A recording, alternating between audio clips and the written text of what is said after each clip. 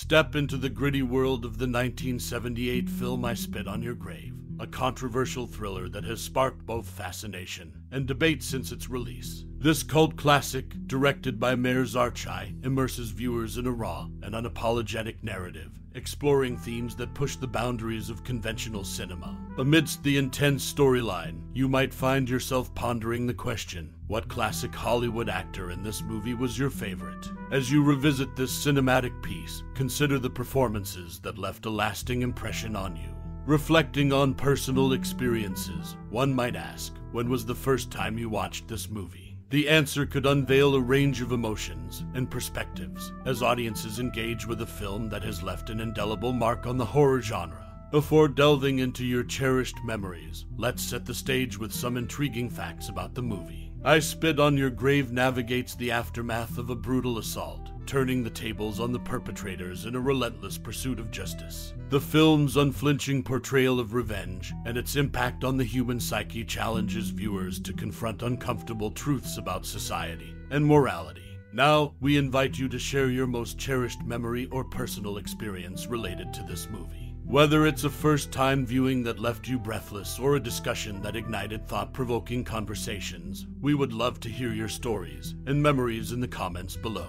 Explore the depths of I Spit on Your Grave and join the conversation. Your unique perspective adds to the rich tapestry of discussions surrounding this iconic film.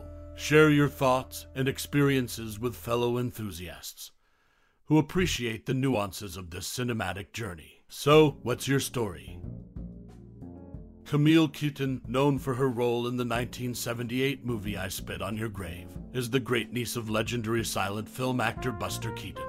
This connection to Hollywood royalty adds an intriguing layer to the film's background. Buster Keaton's legacy in the film industry is significant, and having his great niece in a controversial and impactful movie like I Spit on Your Grave is a noteworthy aspect. The movie, directed by Meir Zarchi, revolves around the character of Jennifer Hills, played by Camille Keaton, seeking revenge after a brutal assault. The film's raw and unflinching portrayal of revenge and the consequences it brings sparked both controversy and discussion.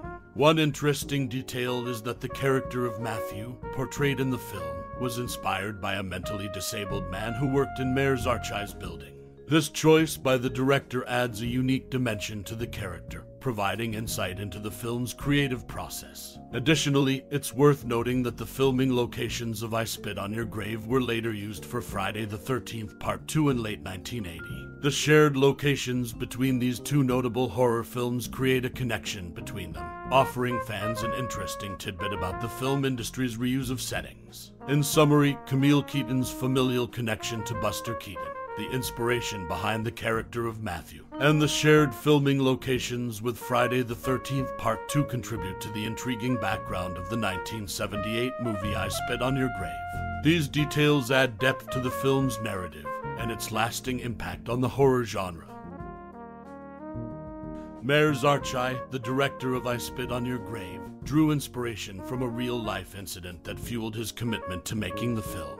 One day, while driving with a friend and his daughter, they encountered a bloodied and naked young woman crawling out of a park. This shocking sight led them to grapple with the decision of whether to take her to the hospital or the police. Zarchi later revealed that the officer they encountered was unsympathetic, insisting on questioning the victim before seeking medical attention for her broken jaw. The incident left a lasting impact on Zarchi, prompting him to make a film that would address the harsh realities of sexual assault. This gritty motivation behind the movie is reflective of Zarchi's dedication to shedding light on the harsh aftermath of such violent acts. It underscores the film's intention to confront uncomfortable truths and spark important conversations about the treatment of assault victims. In essence, I Spit on Your Grave emerges not just as a cinematic endeavor, but as a social commentary on the challenges faced by survivors of sexual violence. The film's core narrative, centered around Jennifer Hills seeking revenge after a brutal assault, takes on a deeper significance when viewed through the lens of Zarchi's real life encounter. It adds a layer of authenticity to the film's portrayal of revenge and the consequences that follow, making it more than just a controversial piece of cinema. This raw and unflinching approach to storytelling, grounded in real world experiences, sets I Spit on Your Grave apart and contributes to its lasting impact on the horror genre. It becomes a powerful vehicle for addressing societal issues surrounding sexual assault, challenging viewers to confront uncomfortable truths. The film's evolution from a real life incident to a controversial cinematic narrative exemplifies the complex interplay between reality and fiction in the world of filmmaking.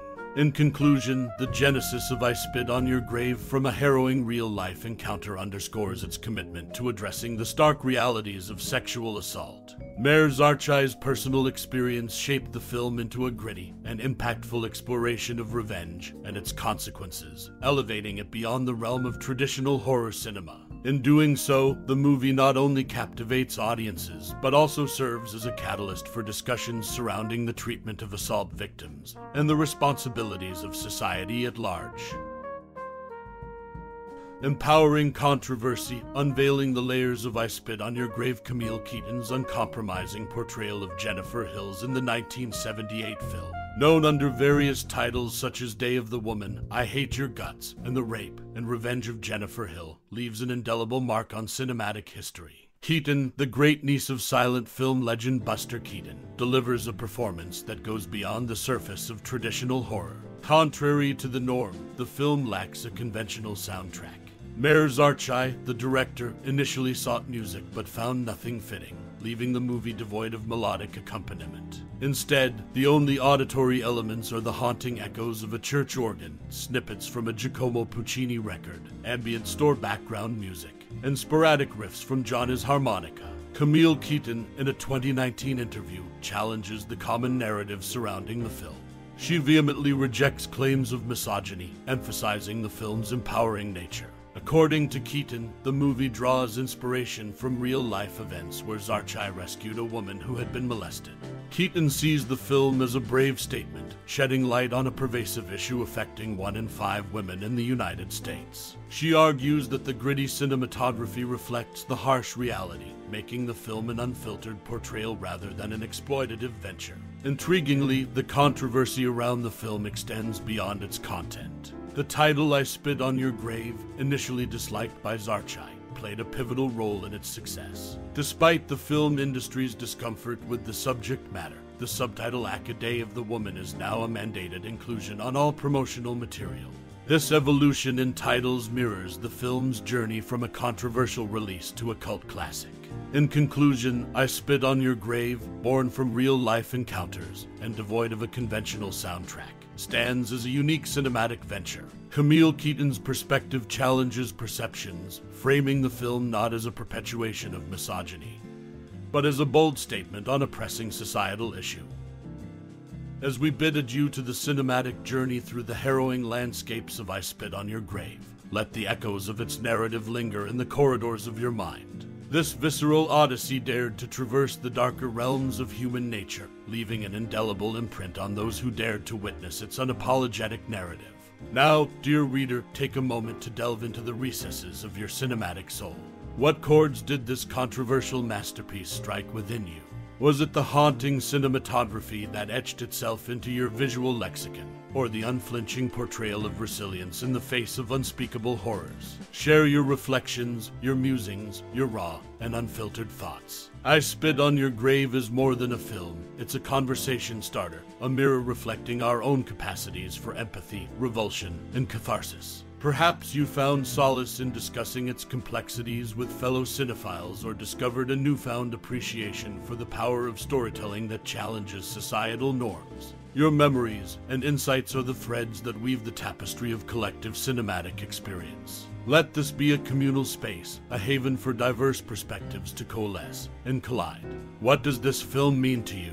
How has it shaped your perception of storytelling and resilience? As we close this chapter on the exploration of I Spit on Your Grave, we extend our heartfelt gratitude for your time, your curiosity, and your willingness to engage in this discourse. The cinema, after all, is a living, breathing entity, a canvas upon which we project our fears, hopes, and humanity. Share your thoughts, spark conversations, and let the resonance of this cinematic journey reverberate through the annals of our shared narrative. Until next we explore the realms of celluloid together. Thank you for being a part of this tapestry, woven by the threads of your unique perspective.